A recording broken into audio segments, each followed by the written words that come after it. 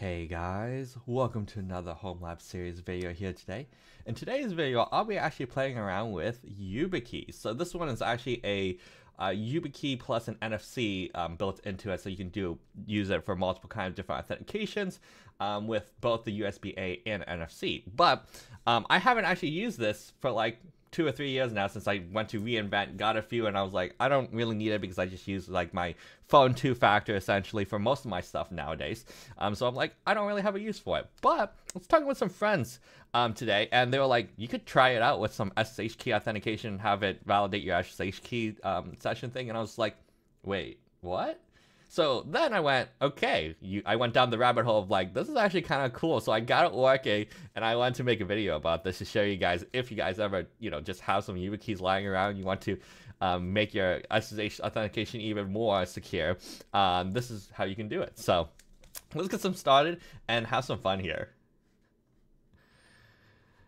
All right. So the first thing to note with doing this, um, so in your essentially both your client and your server. So you need to make sure that you have the SSH version at least like 8.2, I believe. I think that's when um, they they actually allowed for like the authentication with like the FD FIDO um, and stuff for security keys. So if you are running like Oracle Linux or like you know an older version of RHEL, um, it may not have essentially 8.2 or higher because a lot of my VMs I'm running Oracle Linux 8, and the latest package in the Red Hat repository is 8.0.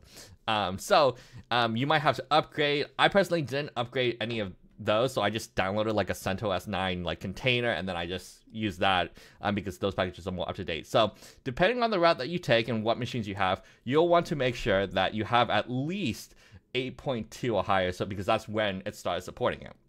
If you don't, it just won't work. Um, then Second thing is you should unbox your YubiKey. So you got your YubiKey. The Yubi... I didn't just drop it. I, I definitely didn't drop it. All right. As I was saying, the YubiKey essentially has like a little button, and this a little circular button that one after you plug it in, you, it'll light up. Uh, and when when you're ready to, to, be pushed, you just hold it, and that's it. Um, so what uh, we'll do here is one, plug it in in my computer.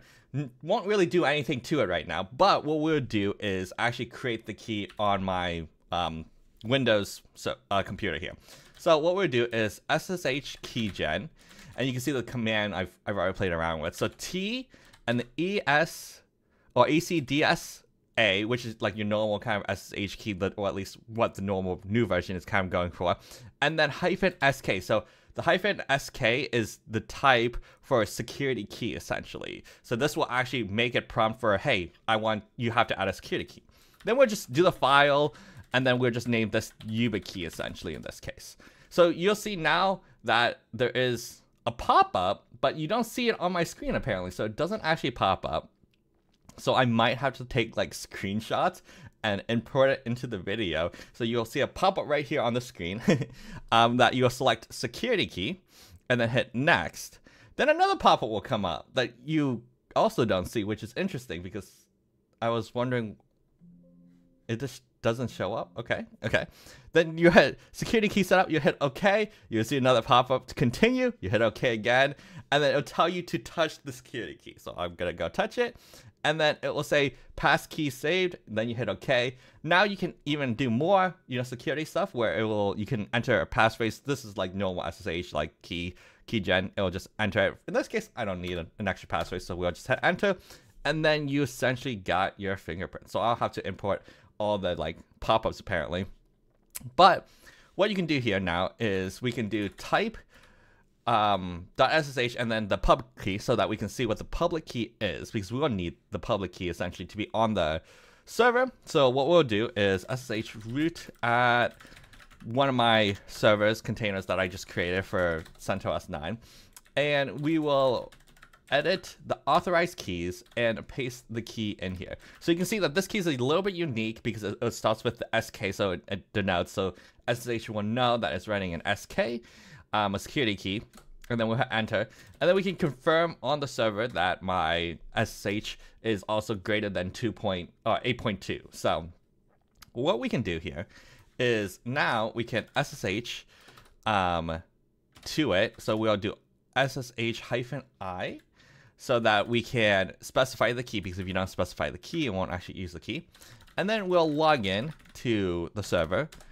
And then here it'll say confirm user presence. There's another pop up saying sign in with your passkey, which I'll have to take screenshots. We'll select the security key, hit next, then we will have to touch the key again. So we'll hold the key, and then the pre user presence confirmed, and you can see that we have successfully logged in. So um, that essentially is how you can set it up so that it will confirm with your security key that your, you know, the SSH key that you're using actually is, uh, you know, secure and confirmed. So um, that's pretty much it for this video, but hopefully I will spend probably the rest of this weekend or the week to figure out what other cool things I can do with this and maybe make some more videos about it. So um, hopefully you guys did enjoy this video. If you did, feel free to leave a like, comment, subscribe, and we'll see you guys in the next video.